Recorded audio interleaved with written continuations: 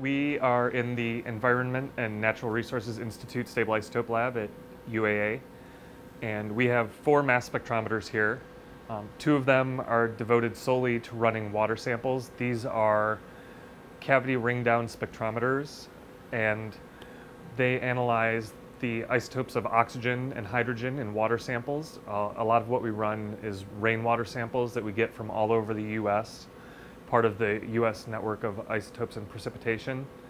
Um, so these take a little sip of water, a, a, really, really small drop of water, and it gets vaporized, goes from liquid to gas, and then that gets pumped into a small cavity where a pulse of laser light is shot in, and um, it bounces around the cavity while the water sample is in there. The, the laser light is absorbed by the water molecules. And on the way out of the cavity, the light, the light is uh, analyzed again, and we look at really distinct parts of the, the light spectrum in the laser light. So the light's absorbed by the water molecules differentially. Um, water molecules with heavy oxygen are absorbed differently than water molecules with light oxygen. So we can look at the light that passes through them and tell how much of heavy oxygen and how much of heavy hydrogen is in the water sample.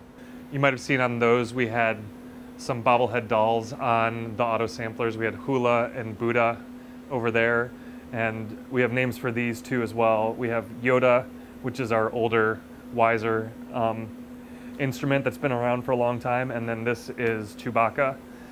So these are isotope ratio mass spectrometers. They work a little bit differently instead of using laser light to get an um, get data for the isotopes that we're measuring, these use combustion. So they use heat to break up the sample that we're measuring. So um, here we have something called an elemental analyzer. We take the sample that I've prepared that we grind up and fold up into the little tinfoil capsule. The sample goes into an auto sampler carousel. So there's 50 wells in here and each of them would hold a sample. And this moves one at a time, drops the sample in into a furnace that's at about 1,700 degrees Fahrenheit, and it burns up the whole sample. So if it's hair, all of the hair is converted into gas. Um, it passes through a couple reaction columns and then onto a gas chromatograph, which separates different parts of the gas. So all of the nitrogen in the hair is isolated and it's, it's carried through the system as nitrogen gas. All of the carbon in the hair sample is isolated into its own little part of the gas stream and it's carried through as carbon dioxide after the reactions.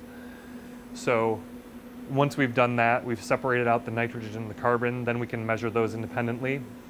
They are piped over to the mass spectrometer where the sample is introduced into the ion source, which is down in here. It's basically a really, really little filament, like a light bulb, but at a really, really high voltage, about um, 3000 volts.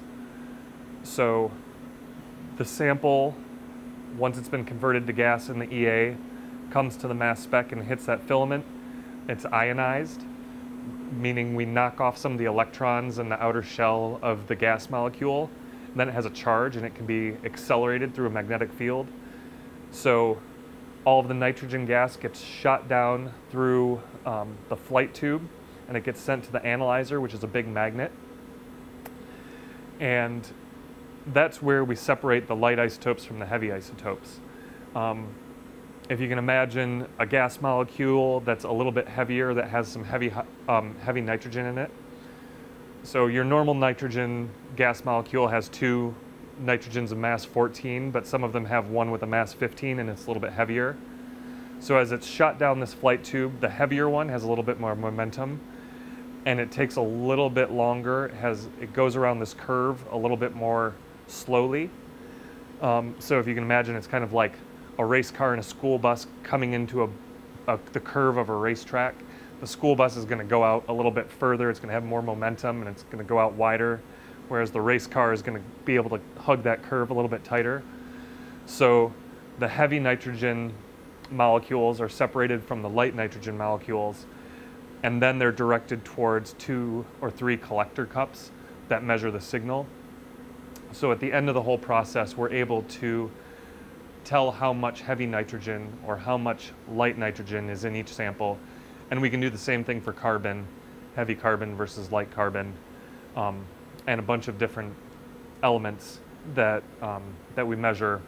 We also do sulfur and oxygen and hydrogen, but they all work on the same principles. So both of these mass spectrometers do the same thing. One's a little bit older, one's a little bit newer, but it's basically been the same kind of technology since the early 1900s. Um, the last instrument we have is a GCMS, which we can use for compound identification. So if you have a sample and you want to know what's in it, um, this doesn't tell us anything about the isotopes in the sample, but it can tell us um, what is present in a sample if you're looking for contaminants, um, if you're trying to figure out what kind of compounds are in a water sample, if you want to know if you're looking for the presence of, say, pesticides or um, these are also used to for in forensics labs to determine if um, if a certain sample has some kind of illicit narcotics or um, things of that nature. You can tell whether or not there's any number of compounds in a sample. So it's used for a, a whole lot of different purposes. And we use it to, to separate out different amino acids in a sample to isolate amino acids, which will then go on eventually to be interfaced with the, the isotope ratio mass spec. Wasn't any real reason to have Jimi other than we were looking through all of the bobblehead dolls that we could possibly find on Amazon and we agreed that Jimi Hendrix was probably the coolest one that we found. It was either that or uh, Mike Ditka or the dude from Big Lebowski. And so the dude's probably next, but Jimi won in the last round of our, our bobblehead nominations. So um, we've got at least one more auto sampler to fill. So uh, maybe we can make an online poll to see who goes there next.